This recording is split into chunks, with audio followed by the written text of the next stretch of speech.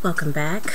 Um, yes, the next set of videos, I'm to be wearing the same dang thing because I'm shooting these suckers back to back. Well, not back to back to back, but the same day um, while I can. And I'm going to try to do as many as I can while my baby is sleeping, napping. Hopefully she's asleep now because she's been fighting it. so um, this is going to be the YouTube Pagan Challenge week 11, which is what does the sun mean to you? And I'm going to tell you, I do not really use the sun much in my practice at all, other than when it comes to my crystals. And I want to charge some of my crystals. Some I don't charge in the sun. Um, or, yeah, some I don't charge in the sun because they fade.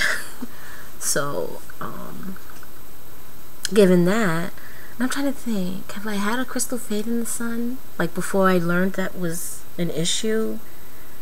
I think I kind of just lucked out. Um, and it's probably because I didn't keep it in the sun that long. Um, nor do I keep them in direct sunlight. And, well, no, let me not say that. I would put them like on my windowsill which gets a lot of good sun here. This home um, has a lot of windows, and so there's a lot of sunlight, which is one of the things my husband and I loved about it. Our old home was very dark, and you know, um, just and it it kind of did not lighten the mood any. It didn't help to lighten your mood any. And we both loved the fact that there were so many windows. There are huge windows I don't know if I can show you like it's like starts up. I don't want to adjust the camera because I have such an issue with this thing as it is. But it's like way up here and it goes all the way down here. So like these flower pots are sitting on the windowsill here and the living room windows are the same. So it's almost to the top. I'm gonna say there's like maybe two feet from the ceiling um, and then each bedroom has a big, huge window like that. And our bathroom has a window. It's a smaller window.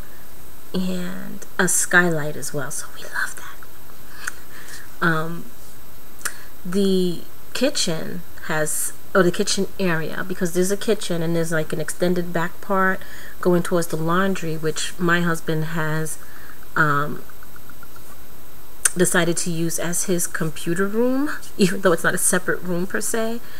Um, so his computers and everything is over there, but he has two windows back there, and then the kitchen right in front of me. Like this whole setup is uh, right behind my monitor here, which you all, you know, is the countertop to the kitchen. Um, and we love it. we love the light. It's amazing. Um, the laundry room doesn't have a window, but the door back there has a window. So, um, wait, doesn't. I really think it does. Maybe it doesn't. Oh my gosh. I'm so non-observant now. I feel bad because I've been here for almost two years. well, a year and a half. Um, I've lived here, but um, anyways, I digress totally got away from the topic of this video.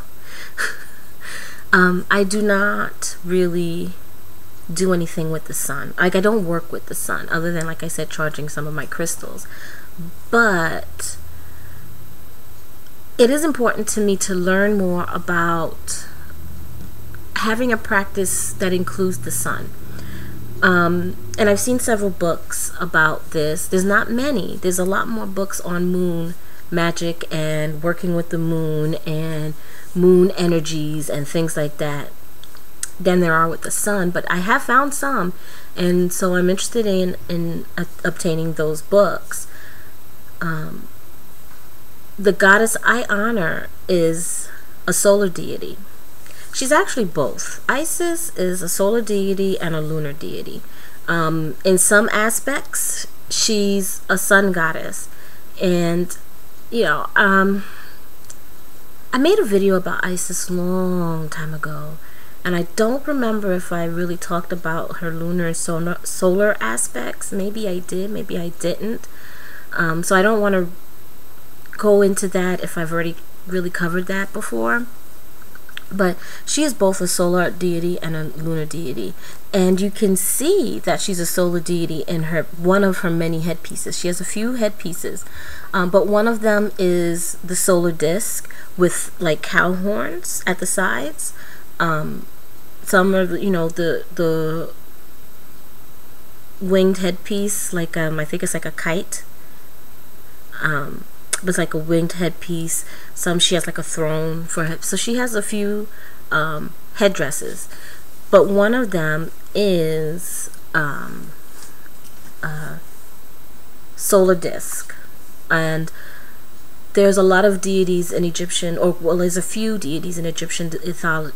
Mm, why can I not speak today? There's a few deities in Egyptian mythology who you will find are solar deities, and you'll also find some who are considered both solar and lunar deities, depending upon what aspect um, you're talking about of them.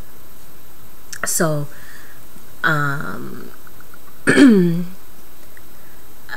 and in fact, the solar disk is also one shared by Hathor, which um, some say at some point she absorbed the properties or her tra- Hathor's traits, and that's when she started having the solar disk. Um, others don't say that's when, but a lot is that she's absorbed or assimilated some of um, Hathor's attributes.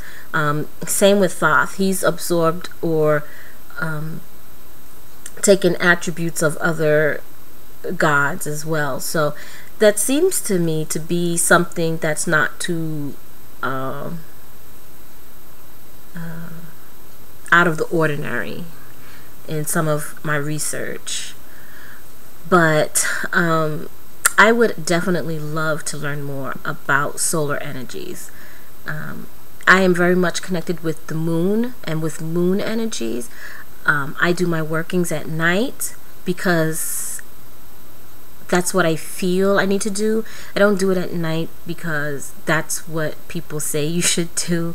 Um, long time ago, I was very caught up on how everything had to be like, um, and so I always felt that I can't do certain things because I don't think I can do that. But um, I used to be caught up on um, doing it like this, like you need to do this like this kind of thing. And over well, over the last few years, but this within this last year especially, I'm really feeling like or learning to make everything my own. I mean, I've always known that, yeah, you should make your practice your own. Um, if you do spells or ritual, don't just copy them, make your own. Me personally, I am not a I can just write a ritual myself kind of person. I, I need someone's format, at least as a framework, and I'll deviate. So, um, yeah, so I'm very much a moon person. um, but I, I am most definitely interested in learning about solar energies um, and maybe even like solar deities you know I'll include that in my research too so um, that's basically it though so thanks for watching and blessed to be